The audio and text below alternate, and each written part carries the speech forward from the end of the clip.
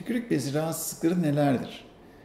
Tükürük bezi rahatsızlıkları esasen her zaman tükürük salgısı ile ilgili bir konu olmayabilir ama ilk başta tükürük bezinin bir rahatsızlığı varsa hemen akla geleceklerden birisi tükürük akımında bir azalma, tükürük yapımında bir sorun olması şeklindedir. Ki bunlar e, ağız kuruluğuyla kendisini gösterir.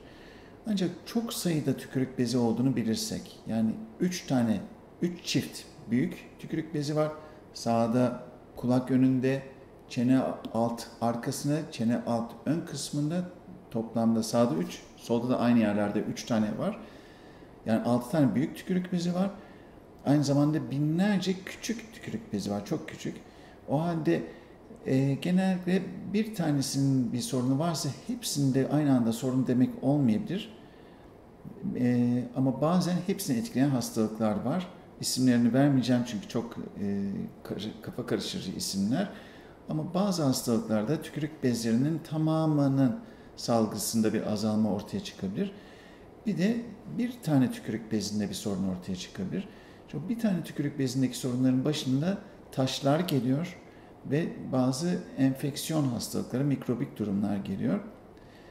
Bunlardan sonra da tümör dediğimiz hastalıklar ortaya çıkabiliyor. İşte bunlar bir kişinin hekime başvurmasını gerektiren durumlardır ve e, bu durumda biz eğer bir taşla ilgili bir izlenim ediniyorsak bunu o tükürük bezinden tükürük gelmeyişini anlayabiliyoruz. O tükürük bezinde yemek sırasında yani oturduğunuz yemek yiyorsunuz. O sırada hop burada bir şişme ortaya çıkıyor. Çünkü tükürük bezi salgı yapıyor ama yollar tıkanmış olduğu için arka tarafta bir anda trafik ortaya çıkmış oluyor. Ee, bunlar bize çok tipik bir tıkaç olduğunu ve büyük olasılıkla da taşa bağlı bir tıkanma olduğunu işaret eder. Enfeksiyon hastalıkları biraz daha farklıdır.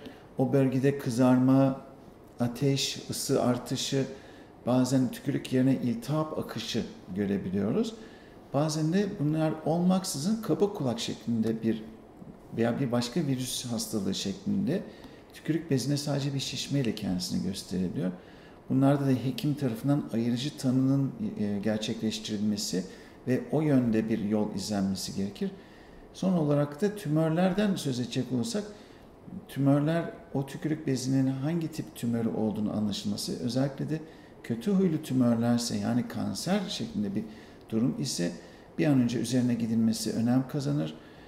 Bu durumlarda gecikilmeden hekime başvurmanızı öneririm.